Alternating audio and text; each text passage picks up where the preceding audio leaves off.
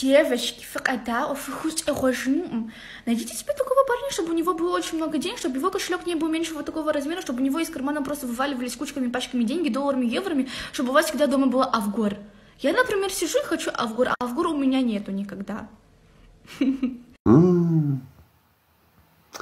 Как я понимаю, кавказские барышни начали подтягиваться за нашими славянскими. Все туда же. Девки, не с тех пример берете. Ой, не с тех.